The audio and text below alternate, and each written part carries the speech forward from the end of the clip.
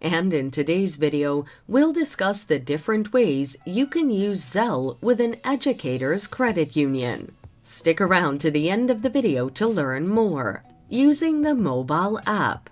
Follow these steps. Look up the Educators Credit Union app on your Google Play or App Store on your device. Download and install the app.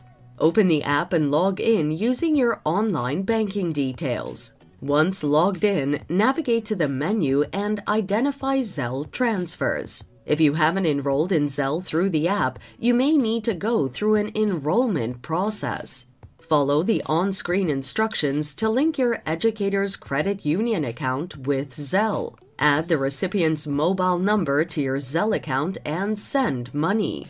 Ensure the recipient is also enrolled in Zelle through their bank or credit union. Enter the amount you want to send and choose the recipient from your list. Confirm the transaction to initiate the transfer.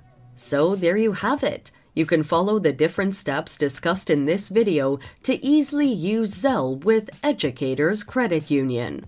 Thanks for watching. Till next time.